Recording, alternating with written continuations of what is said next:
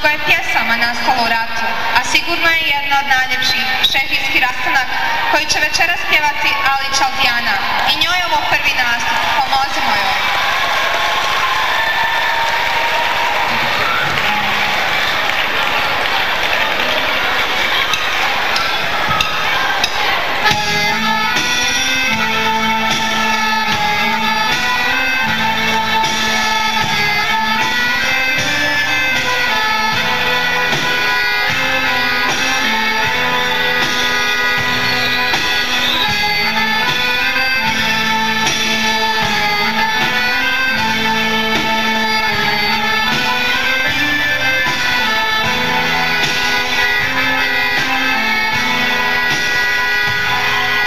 Yes.